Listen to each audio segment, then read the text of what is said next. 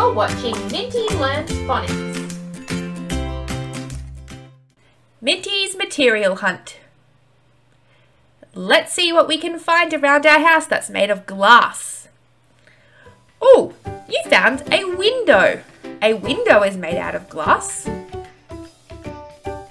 Oh, the shower screen is made out of glass as well. Oh, a glass that you can drink out of. Be very careful with that, Minty.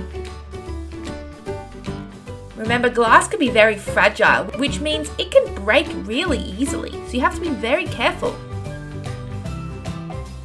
Oh, Minty, you found some jars there. They're made out of glass too. Oh, what are you pointing at? Oh, that's made out of metal. Glass and metal.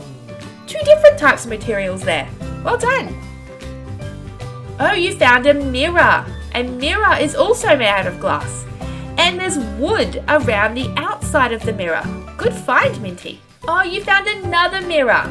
And there's some more glass in that mirror. And I can see some more wood around the outside. Well done. Let's see what we can find made out of wood. What do you want there, Minty? Oh, the ladder is made out of wood. And the top of the stool is made out of wood. Let's see what we can find made out of plastic. Your drink bottle is made out of plastic. Good find, Minty. And your lunchbox is also made, out of plastic.